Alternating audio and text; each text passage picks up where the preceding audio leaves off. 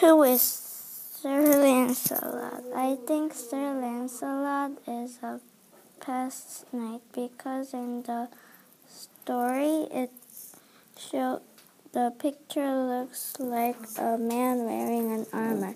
So I think Sir Lancelot is a past knight. But I think he is not important because he because the crowd always pick on him and tease him. So I think Sir Lancelot is not important. So Brian, I notice you're talking about all the differences. Is there anything that's similar between the two Morgan Le Fays? No. Nothing? Yeah. Well,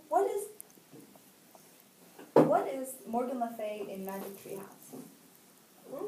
What is Morgan Le Made with Doodlecast Pro.